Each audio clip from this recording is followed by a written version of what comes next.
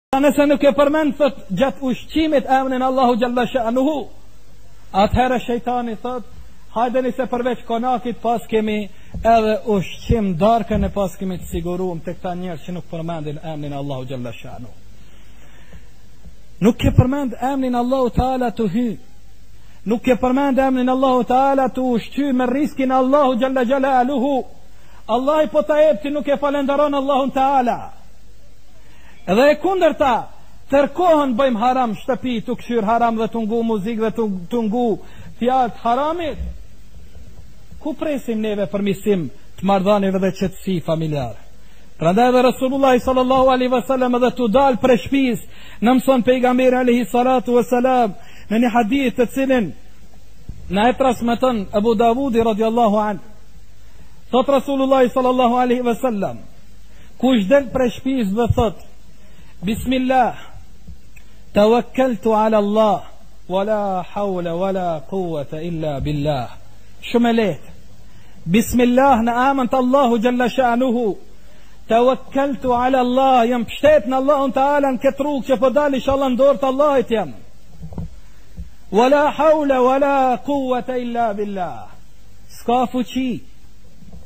S'ka kurkush mundësi që të m'bëjë të keqe dhe s'ka fuqi mbi fuqin e Allahu Gjalla Shanuhu.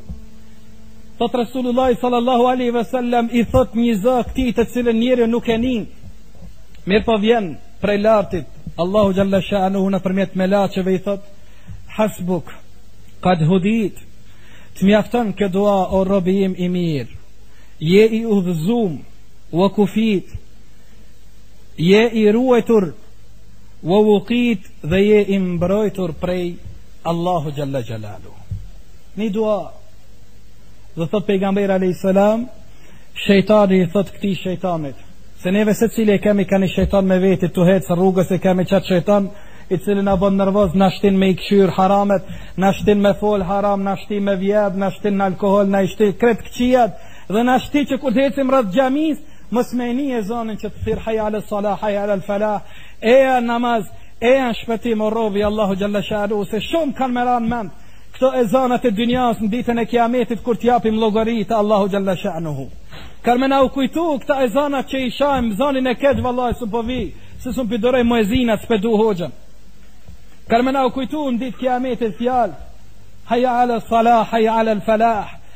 Eja n'namaz eja n'shpëtim dhe thot pejgamberi alayhis salam, gjithë janë pishman ditën e Kiametit para Allahu xhalla shanuhu, gjithë. Musliman haxhillar, xhematlinj, njerëz që falin dhe që nuk falin, xhenetli dhe xhenemli, gjithë jemi pishman. Tu ja nis prej meje e juve dhe të tjerëve dhe ma të mirë se na. Pse Xhenetlitë janë pishman pse s'kanë vepru, pse s'kanë ba punë, ala ma të mira për me i ngri derexhet e tyne tek Allahu Gjalla Shanuhu.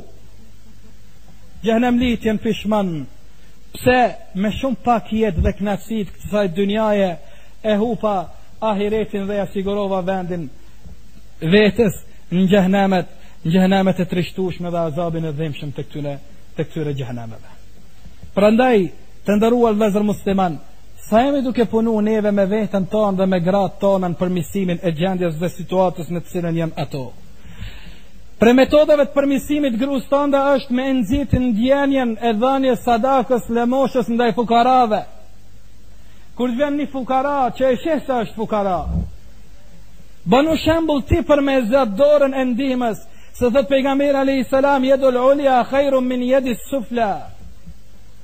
Dora e epër me dora që jep është ma e mirë se dora që lip dhe kërkon. Ndihmoni ju vëllezërve t'juj, kojshive t'juj, t'afërmëve t'juj, besimtarëve muslimanëve tonë. Ndihmoni ju jetimëve që na kanë met pas luftës, t'vejave që na kanë mbet pas luftës. Ndihmoni ju shtresave të, fukara, të fukarave të cilët na janë duke na u shtu për çdo ditë e ma tepër, nëse dojmë bereqet malin tonë, Nëse dojmë bereqet dhe dashni dhe rahmet prej Allahu xhalla shë anuhu ma tepër atëherë duhet të shtrijmë dorën dhe të japim sadak te ata të cilët kanë nevojë për sadak. Prandaj thot pejgamberi alayhi salatu wassalam duke urdhnu gratë e tij edhe duke urdhnu gratë e sahabëve pasi që vjen prej natës Miraxhit në të cilën pejgamberit alayhi salatu wassalam ishte tregu xheneti dhe xhehenemi dhe thot Rasulullah sallallahu alaihi wasallam pash në xhehenem se shumica e banorëve të tij ishin prej pasanikëve dhe prej grave. Prej pasanikëve dhe prej grave, pasanikët të cilët nuk dhanë zeqat, sa e sa herë ndëgjun 2.5% jipni zeqat, nuk deshtën të i përgjigjen kërkesës Allahu xhelle shanuhu, që atë që Allahu e ka bo, hak fukarave në mallin e tyne nuk e dhanë, 2.5% mallit tuj, njëherë në vjetë.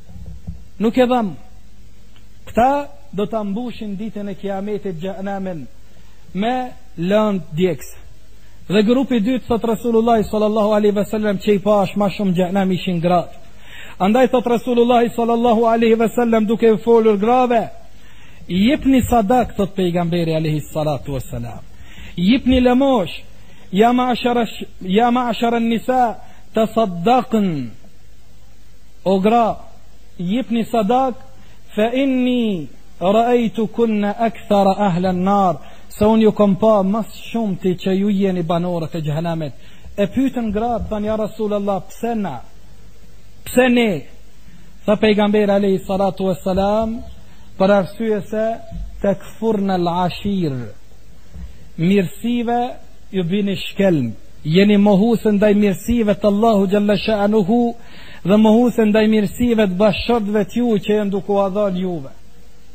Ushqimi bashkëshortit për bashkëshortën e saj është sadak. Veshmbathja, veshja dhe veshmbathja që bashkëshorti ja jep grus vet është sadak. Të sjellurit, buzëqeshurit dhe fjalët e mira t'ia thuan bashkëshortes tënde është sadak. Dhe gjitha këto gruaja i harron një herë mos mi avo çefin. Është në gjendje me thonë kurr hajrin s'ta kum pa. Shoqet e mia kështu dhe kështu të shkun edhe në haram. Shoqet e mia kaq e kaq allton kanë. Shoqet e mia djemtë po i martojn nëpër sallonet haramit t'i përzi gratë dhe femrat ti kurrgjo hajr kurr s'pash ty. Gjitha ato të mira dhe në fund përsëri refuzon këto nimete. Allahu Xhelle Shanuhu ka bë që nëse këto fjalë dalin prej kësaj femre dhe nuk është falenderuse ndaj muslimanit i cili sillet në mënyrë të but ndaj saj. e ushqen dhe e veshmbat duke mos ba dallim, duke mos e ushqy veten ma mirë se sa grun dhe fëmijët e tij, sikur që i shohim tregtarët tanë, të cilët vetë ushqehen me mish, mushkni dhe me qyfte, gratë e tyne nuk kanë vodhe dhe djathë me ushqy në shtëpitë e tyne. Nëse ka qenë i sinqert dhe kjo e refuzon mirësinë, kjo është prej sebepeve që këto gratë janë në xhehenemin e dhimbshëm të Allahu xhalla shanu në ditën e kiametit. Prandaj Resulullah sallallahu alaihi wasallam i nxit grat që të japin ma tepër lëmosh. Prej metodave tjetra të përmirësimit të grave tona është të ofruarit e literaturës islame që t'i shtim grat tona me lexu pak ma tepër për dinin e Allahu taala.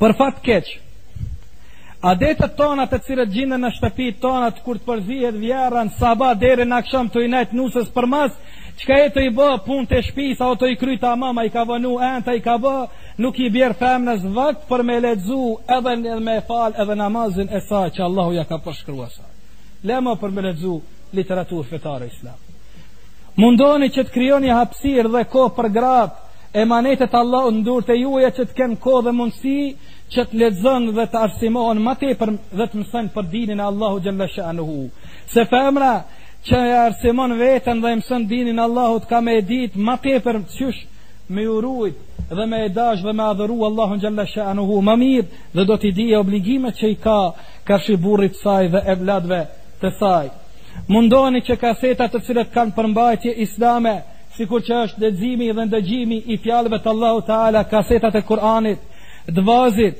apo ilahive me karakter fetar islam të cilat nuk kanë përmbajtje të shirkut ose nuk përcillen me instrumente muzikore që të jenë n'shtëpitë tona në kasetofonat tonë dhe t'i largojmë kasetat e muzikës dhe fjalëve në të cilat për fat të keq i kanë pushtu shtëpijat e, e muslimanve dhe e fundit mundohemi që t'i gjejmë grave tona shoqe besimtare muslimane të ndershme